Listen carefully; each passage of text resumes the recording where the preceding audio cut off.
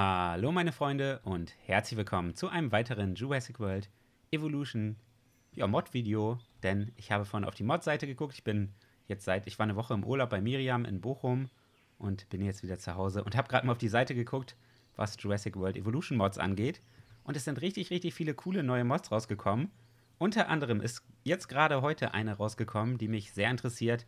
Ihr habt sicherlich schon am Titel gesehen, denn es hat sich jemand daran getraut, den Terizinosaurus in das Spiel zu modden. Das ist ja ein Dinosaurier, den wünsche ich mir schon Ewigkeiten für das Spiel. Habe ich, glaube ich, auch schon mal in einem Video erwähnt, äh, ja, vor einem Jahr oder so, dass das so mit der Dino ist, den ich mir am meisten für das Spiel wünsche. Und endlich hat sich ein Modder daran getraut, den einzufügen. Ich bin super, super gespannt. Was auch mega cool ist, der wurde auch hier mit diesem Bild eingefügt. Und normalerweise steht auch in der Mod-Beschreibung, dass auch hier die Namen und Beschreibungen und so von den Dinosauriern angepasst wurden. Kann gut sein, dass ich hier irgendwie was falsch installiert habe oder so. Weil hier steht noch Apatosaurus. Das ist nämlich der Dinosaurier, ähm, der überschrieben wird sozusagen mit dem Terizinosaurus. Äh, ja, ich kann, ich kann mir gut vorstellen, dass ich da irgendwas falsch gemacht habe. Aber keine Sorge, ich habe alles gebackupt. Also da wird nichts passieren. Ähm, ja, ich würde sagen, wir schauen uns den jetzt... Ah nee, wartet mal. Bevor wir uns den anschauen, ich wünsche euch natürlich erstmal ein frohes neues Jahr. Das ist das erste Video, was ich aufnehme im neuen Jahr, weil ich bin... Äh, ich war im Urlaub und bin jetzt erst wiedergekommen und habe jetzt leider erst wieder die Möglichkeit, was zu zocken. Also frohes neues Jahr an euch alle. Ich hoffe, ihr seid alle gut reingerutscht. Und jetzt würde ich sagen, schauen wir uns den Terizinosaurus an.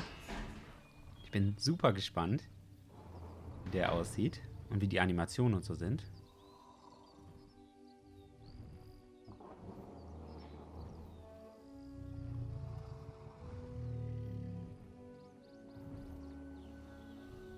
Gott, das sieht cool aus.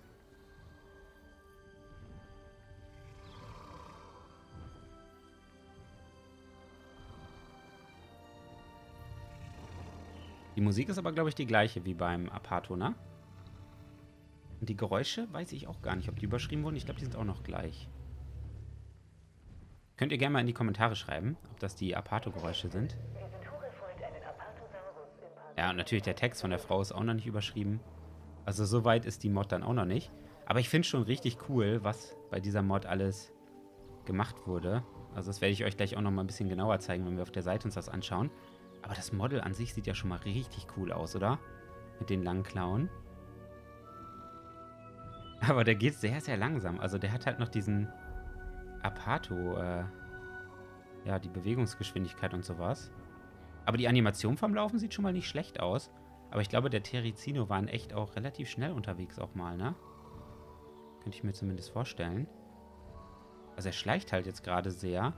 Vielleicht können wir gleich mal ausprobieren, wenn wir dann Fleischfresser oder so reinmachen, dass der in Panik gerät und vielleicht mal ein bisschen rennt, dass wir uns das mal angucken.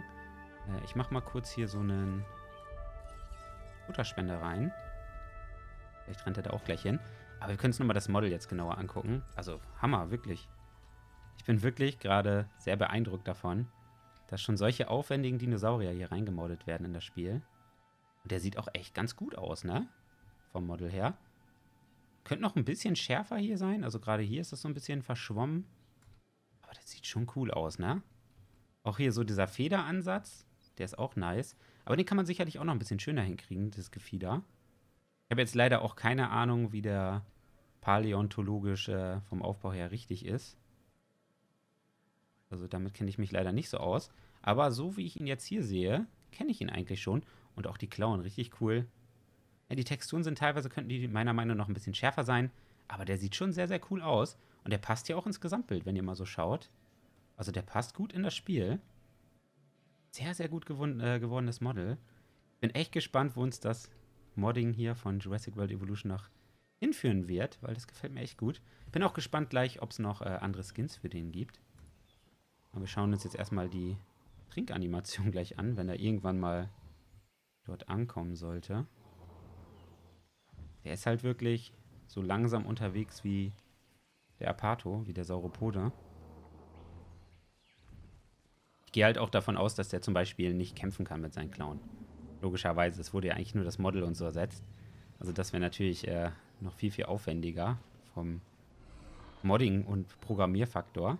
Aber ich hoffe, das Modding geht irgendwann so weit, dass sogar neue Animationen und sowas eingefügt werden. Wobei, so ein bisschen wurden die Animationen ja auch geändert hier, ne? Definitiv.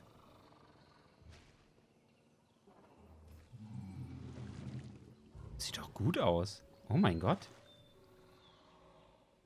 Also die Trinkanimation sieht schon mal sehr, sehr gut aus. Man sieht natürlich, dass der sehr, sehr langsam und gemächlich noch ist, wie der Apato halt auch. Und das sind definitiv die Apato-Geräusche. Aber ich bin wirklich beeindruckt, Leute. Also ehrlich. Das sieht doch schon sehr, sehr gut aus. Ich bin gleich gespannt, wie der von dem Fieder hier fressen wird. Aber wir lassen mal die anderen frei. Mal gucken. Das ist jetzt Savanne. Das vorhin war Standard. Bin jetzt mal gespannt, wie dieser Skin aussieht. Und der sieht wirklich anders aus. Oh mein Gott, wie cool. Okay, das hatten wir bis jetzt auch noch nicht.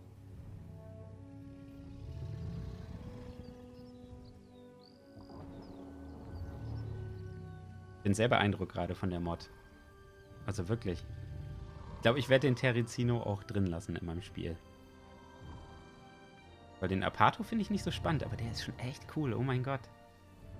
Hammer. Bin mal gespannt, ob der die noch weiterentwickelt, dass der dann auch irgendwann kämpfen kann mit seinen Klauen und so. Also wenn das irgendwann in diese Richtung gehen wird mit dem Modding, das wäre richtig heftig. Das ist ja so cool. Und definitiv auch anders von der Farbe. Der ist jetzt hier so ein bisschen rötlich drin. Der ist halt viel weißer. Das war ja Savanne. Ich lasse die andere nebenbei auch nochmal frei. Hier haben wir nämlich noch Steppe noch. Steppe, Sumpf und Küstengebiet. Lasse ich mal alle frei. Schauen wir uns gleich alle an. Okay, ich bin wirklich beeindruckt. Ich habe ja letztes Mal auch schon die Oviraptor-Mod mir angeguckt. Aber diese Mod dagegen ist halt schon wirklich heftig, ne? Also der passt ja wirklich gut ins Bild, wenn man mal so schaut. Mega. Schreibt mal in die Kommentare, wie ihr das findet.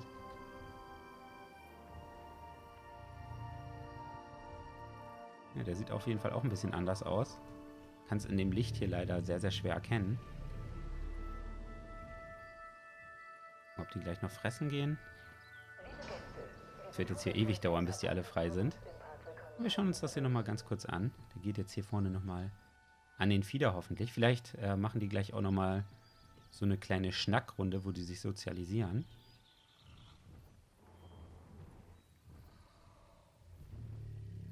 Also richtig krasse Skins sind es jetzt nicht, aber ich finde es cool, dass es einfach die Möglichkeit gibt, dass hier verschiedene Skins verfügbar sind. Die sehen halt alle so ein bisschen unterschiedlich schon aus von der Farbe. Aber sind halt alle sehr natürlich, sage ich mal. Also keine knalligen, bunten Farben, sondern eher so, ja, blasse Farben oder bräunliche Farben, grünliche Farben. So in diese Richtung gehen die eigentlich eher alle so. Jetzt sehen wir gleich die Fressensanimation. Also, dass der so langsam unterwegs ist, ist natürlich ein bisschen störend, ne? Weil ich kann mir nicht vorstellen, dass der Terry in echt früher so langsam unterwegs war. Ich meine, der läuft ja auf zwei Beinen, ne? Äh, langsam schleichen ist da, glaube ich, nicht so angenehm. Ich bin falsch angeklickt. Ich wollte echt den hier haben. Also das ist jetzt die Fressensanimation. Ja, ist ein bisschen schade. Der bewegt halt seine Klauen so gar nicht, ne? Ich glaube, die hängen nur runter. Also ich habe sie zumindest jetzt noch gar nicht bewegen sehen, die Klauen glaube, die sind halt wirklich nur am Hängen. Aber wenn man den so im Spiel lässt, ich glaube, das würde nicht auffallen, wenn man den so in seinem Park hat. Ich glaube, das würde nicht stören. Weil der sieht halt schon echt cool aus. Hier haben wir den letzten Skin. Der ist auch nice. Der ist sehr, sehr dunkel. Welcher ist das? Das Küstengebiet. Der ist so eher schwarz, der Skin. Der war auch cool aus.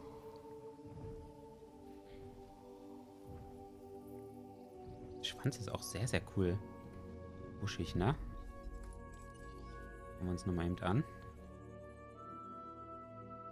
Das ist schon nice. Das ist wirklich cool. Also ich glaube, man kann das definitiv noch ein bisschen verbessern, das Model. Aber ich bin wirklich schon sehr beeindruckt. Das hätte ich nicht gedacht, dass es so krass ist. Finde es richtig cool. Äh, ich weiß jetzt aber gar nicht, welche Animation uns hier noch fehlt. Also sozialisieren können wir uns gleich nochmal angucken, wie das aussieht. Und eventuell, also kämpfen geht ja nicht wirklich, weil Sauropoden kämpfen ja nicht. Wir könnten uns angucken, wie der Indominus Rex auf die reagiert. Das wäre, glaube ich, ganz interessant, weil der Indominus Rex kann ja Sauropoden töten.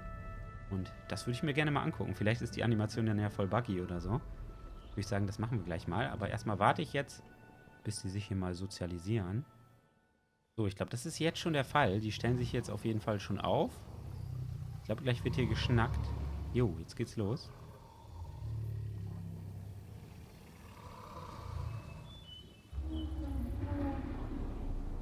Wie das klingt. Ist halt original der Apato-Schrei leider noch.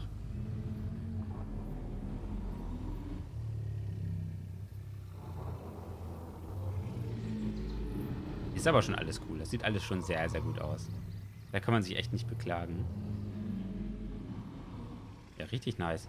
Okay, ich würde sagen, ich brüte mal eben ein Indominus aus und dann schauen wir uns das nochmal eben zu guter Letzt an. So Leute, in der Zeit, wo das Ganze ausbrütet, schauen wir nochmal kurz auf der Seite vorbei bei der Mod. Diese Mod werde ich natürlich für euch wieder verlinken, die könnt ihr auch gerne mal ausprobieren. Äh, wenn ihr das Ganze machen wollt, dann müsst ihr hier unten auf Files gehen und dann könnt ihr hier den manuellen Download machen. Da könnt ihr das Ganze runterladen.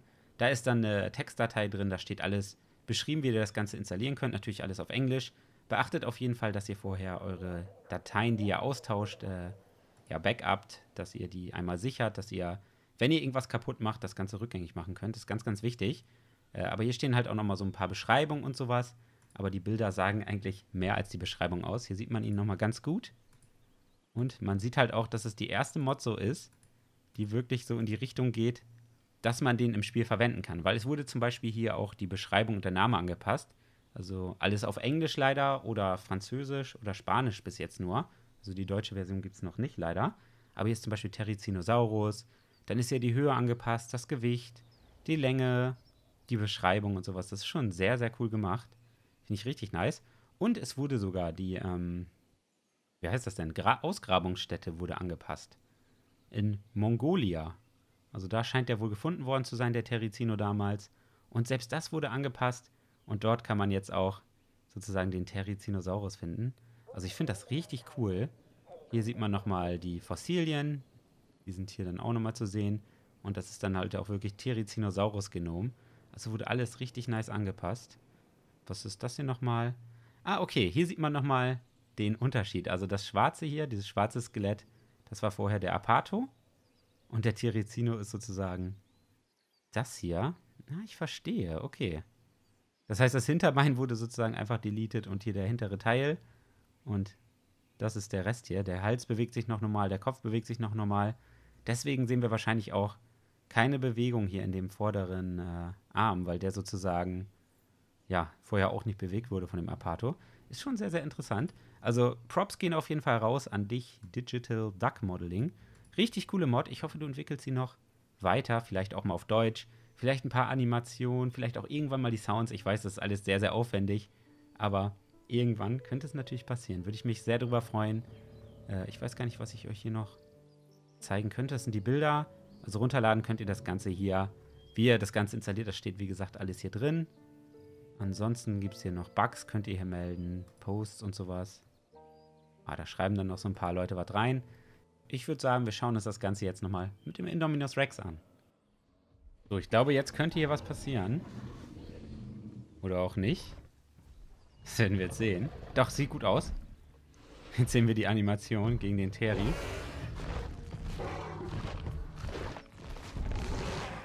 Die sah jetzt auch gar nicht so schlecht aus, muss ich sagen.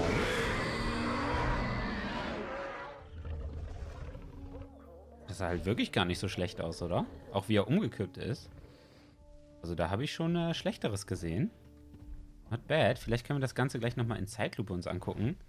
Wenn er jetzt hier gleich nochmal ein bisschen Ärger machen sollte. Wir können uns jetzt hier auch nochmal den toten Terry angucken. Oh, der Arme. Ja, ich würde sagen, wir gucken uns das Ganze nochmal in Zeitlupe an, so zu guter Letzt. Aber ich bin wirklich beeindruckt, dass die Animation trotzdem noch so gut aussah. Ja, Leute, jetzt sehen wir das Ganze nochmal in Zeitlupe. Und ich würde sagen, schreibt mal am besten in die Kommentare, wie euch diese Mod gefällt oder das Video gefallen hat. Würde mich sehr interessieren. Ja gut, jetzt sieht man sogar nochmal, dass die Animation nicht ganz perfekt ist. Aber ist jetzt auch nicht so schlecht. Also, er trifft ihn auf jeden Fall schon mal einigermaßen. Da schreit er vor Schmerz. Ist jetzt hier auch Blut überströmt. Und kippt um.